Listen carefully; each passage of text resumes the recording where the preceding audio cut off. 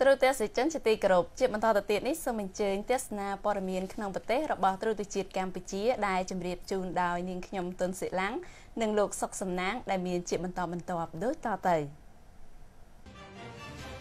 ក្នុងរដូវបុណ្យកឋិនទានឆ្នាំនេះឯកឧត្តមឧត្តមស្នេហ៍តូអ៊ុយទូចទីប្រឹក្សាក្រសួងមហាផ្ទៃនិងជាអនុប្រធានលេខាធិការដ្ឋានប្រយុទ្ធប្រឆាំងផលិតផលคล้ายៗនៃក្រសួងមហាផ្ទៃនិងលោកជំទាវអនសុផានី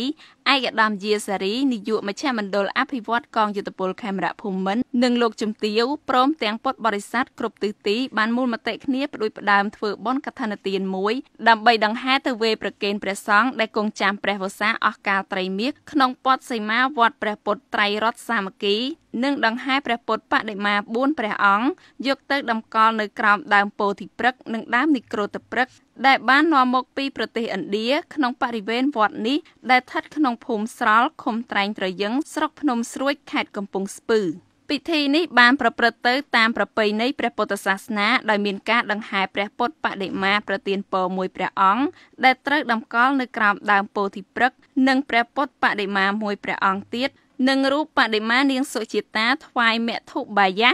ដល់ព្រះសម្មាសម្ពុទ្ធដែលត្រូវតម្កល់នៅក្រោមដើមពោធិព្រឹក្សដែលនាំមកពីប្រទេសឥណ្ឌាទុកសម្រាប់ពុទ្ធសាសនិកជនគ្រប់ទិសទីគ្រប់ប្រណិប័តទុកជាទីសក្ការៈបូជាតាមគន្លងព្រះពុទ្ធសាសនា